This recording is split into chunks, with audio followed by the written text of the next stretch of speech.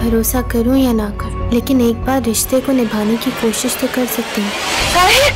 बेटा क्या हुआ बेटा? मैं सब जानती थी ना। आपको मुझे सच बता देना चाहिए था। मैं तुम्हें सब बताना चाहती थी लेकिन तुम सुनने को तैयार ही नहीं थे। तुम उसे छोड़ दोगे तो सारून भी उसे नहीं रखेगा।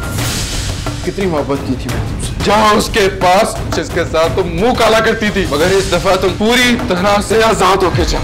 मैं तुम्हें तलाक देता हूँ। बेजुबान तीस से जुमेरात शब सात बजकर तीस मिनट पर।